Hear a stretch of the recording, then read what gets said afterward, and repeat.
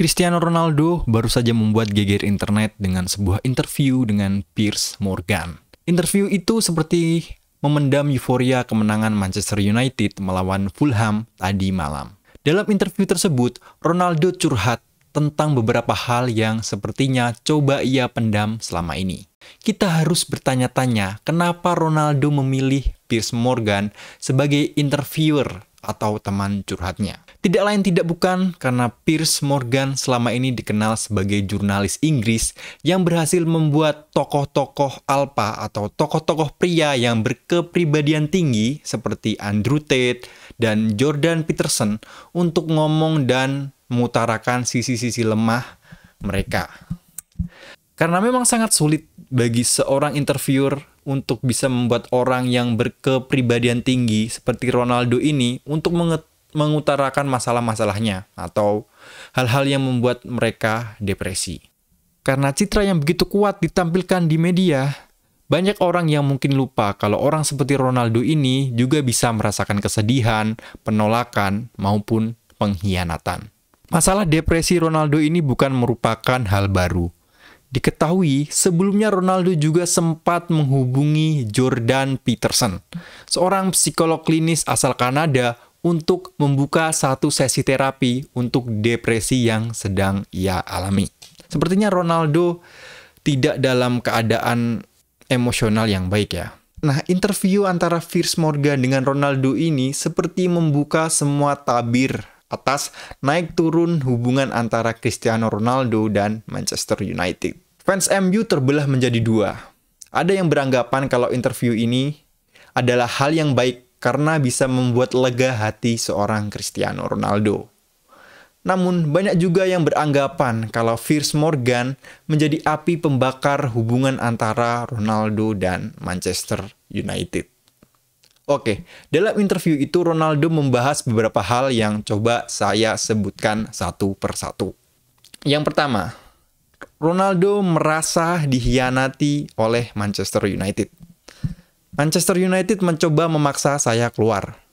Bukan hanya pelatih, dalam tanda kutip Erik Ten Hag, tetapi juga para tokoh dalam klub. Saya merasa dihianati. Saya merasa beberapa orang tidak menginginkan saya di Manchester United. Bukan hanya tahun ini, melainkan tahun lalu juga. Selain membahas tentang perasaan dirinya yang merasa dihianati, ia juga membahas tentang beberapa fasilitas di Manchester United yang belum diperbaharui dan masih sama seperti ketika awal dia datang ketika masih muda. Tidak ada yang berubah di Manchester United, tidak hanya jacuzzi, kolam renang, atau gym. Bahkan beberapa poin seperti teknologi, dapur, dan chef juga tidak berubah. Saya sangat menghargai para chef atau orang-orang yang sangat loyal di sana mereka orang-orang yang sangat baik. Tapi aku berharap bisa melihat hal yang beda di sini, teknologi, infrastruktur, dan lainnya. Dan selanjutnya, ia juga menyampaikan betapa kaget dirinya ketika Ralf Rangnick ditunjuk sebagai manajer. Kalau Anda bukan pelatih, bagaimana bisa Anda menjadi bos di Manchester United? Aku bahkan tidak pernah mendengar orang ini sebelumnya. Ia juga menyampaikan kekecewaan dirinya dengan Erik Ten Hag. Aku tidak punya respect kepada Erik Ten Hag karena dia juga tidak menunjukkan respect kepada saya. Jika Anda tidak respect kepada saya, saya juga tidak akan respect kepada Anda. Dan Cristiano Ronaldo juga menyebutkan bahwa semenjak kepergian Sir Alex Ferguson, banyak hal yang berubah atau Manchester United tidak dalam track yang bagus.